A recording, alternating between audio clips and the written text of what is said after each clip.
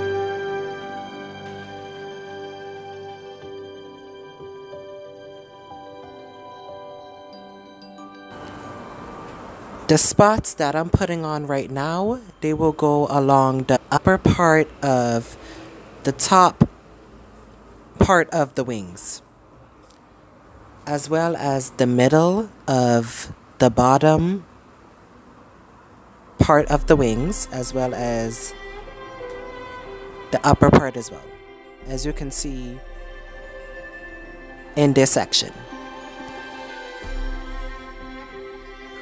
Four round circles will also be put on the lower parts of the wing, two circles for each wing respectively.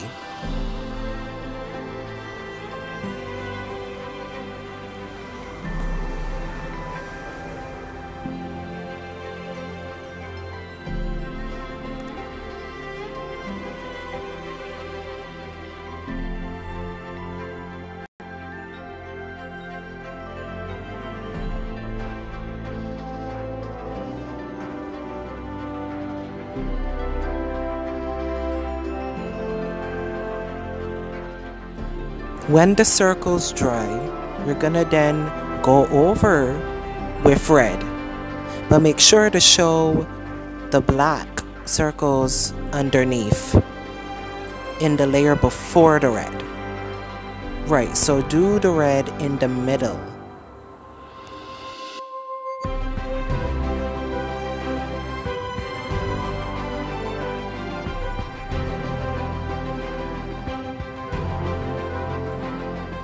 Finally, I will add details to the body.